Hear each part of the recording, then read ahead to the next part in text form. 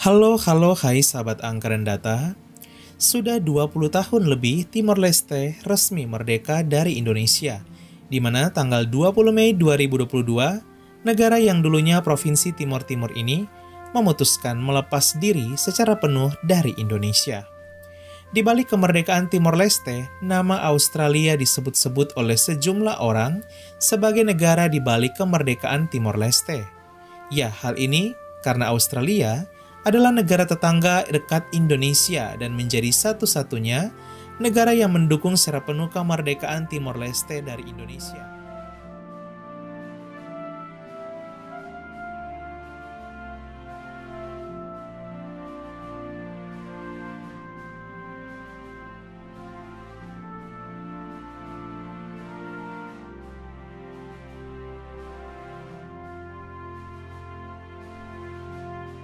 Muncul sebuah pertanyaan, seandainya saat ini disuruh memilih, yang manakah yang akan dipilih oleh Timor Leste saat ini? Apakah Indonesia atau Australia? Inilah beberapa jawaban jujur dari rakyat Timor Leste langsung beserta para pemimpin tertingginya di pemerintahan, melansir dari berbagai sumber terpercaya.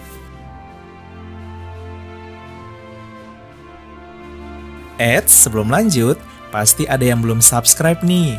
Yuk, tekan tombol hitam subscribe di pojok kanan agar tidak ketinggalan informasi yang menarik dan gratis dari kami. Terima kasih. 7. Fredo Jimenez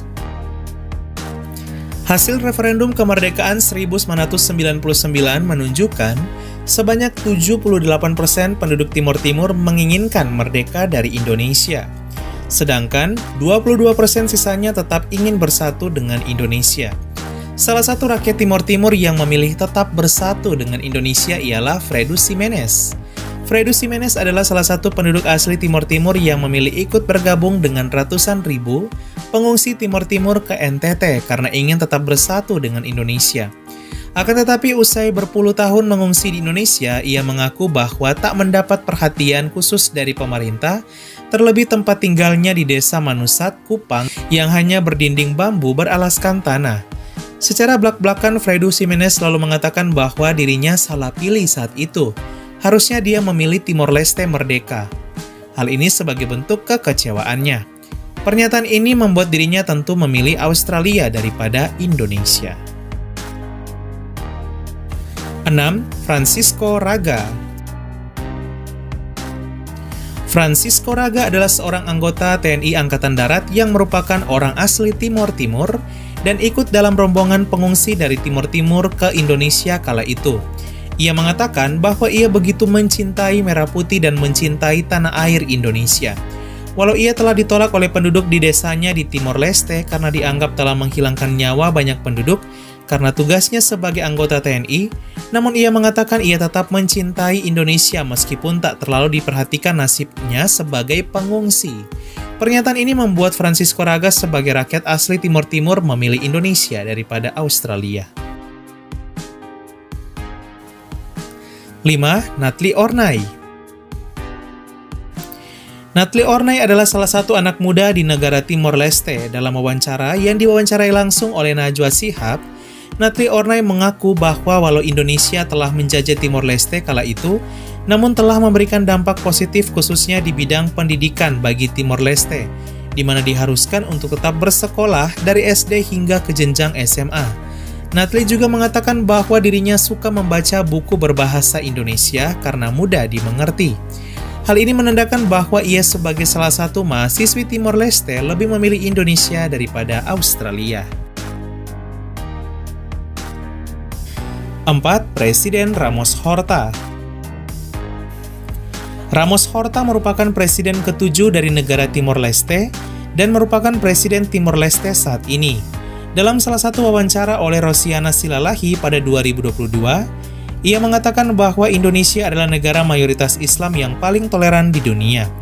Di sisi lain, Ramos Horta juga menjalin hubungan kerjasama yang sangat erat dengan Australia, terutama di bidang sumber daya gas. Pada September 2022, Ramos Horta terlihat mengunjungi Australia dan memperkuat kerjasama. Sehingga dapat disimpulkan bahwa Presiden Ramos Horta tidak memilih melainkan lebih bersifat netral terhadap Indonesia dan Australia. Ia menyanjung Indonesia namun di sisi lain tetap membangun relasi dengan Indonesia.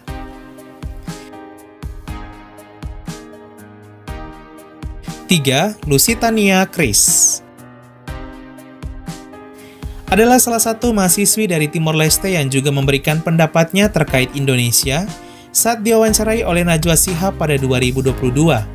Ia berpendapat bahwa dari segi budaya, budaya Indonesia masih tetap ada di dalam kehidupan penduduk Timor Leste, baik makanannya maupun orang-orangnya, karena kedekatan budaya dengan Indonesia terlebih penduduk Pulau Timur Barat NTT ia juga mengatakan bahwa suka menonton berbagai tayangan acara Indonesia dari TV maupun YouTube, terlebih sinetron. Dari sini dapat disimpulkan bahwa ia memilih Indonesia daripada Australia. 2. Perdana Menteri Mari Alkatiri Mari Alkatiri adalah Perdana Menteri Timor Leste yang menjabat hingga tahun 2006 dan juga pernah menjabat lagi tahun 2017 sampai 2018. Dalam salah satu wawancara oleh situs berita Arab News, Mari Al-Katiri mengatakan, walau memiliki masa lalu yang kelam namun hubungan Timor Leste dengan Indonesia kini semakin erat dan menguat. Ia bahkan mengatakan bahwa Indonesia adalah negara pendukung terbesar bagi Timor Leste untuk terus membangun bangsa. Hal ini menandakan bahwa Perdana Menteri Mari Al-Katiri lebih memilih Indonesia daripada Australia karena merasa lebih dekat relasinya dengan Indonesia. Satu, Pemuda-pemudi Timor Leste Dalam wawancara Najwa Sihab 2022 tak hanya yang memberikan tanggapan positif terhadap Indonesia, namun ada juga sebagian pemuda-pemudi Timor Leste yang kontra terhadap Indonesia. Mereka menilai bahwa Indonesia adalah penjajah bagi mereka karena Belanda tak pernah menjajah Timor Timur dan masuk ke dalam bagian dari Indonesia. Hal ini membuat sebagian pemuda-pemudi Timor Leste memilih Australia daripada Indonesia. Sahabat angkaran data itulah tujuh pendapat dan jawaban jujur dari rakyat dan pemimpin Timor Leste bila harus memilih antara Indonesia atau Australia. Apa pun pendapat mereka tentunya kita harus menghargainya. Jika kita lihat ternyata penduduk Timor Leste cenderung lebih memilih Indonesia dibandingkan Australia. Semoga ini semakin memperkuat dan mempererat hubungan antara Indonesia dan Timor Leste bagaikan kakak beradik. Sekian terima kasih. Halo halo hai.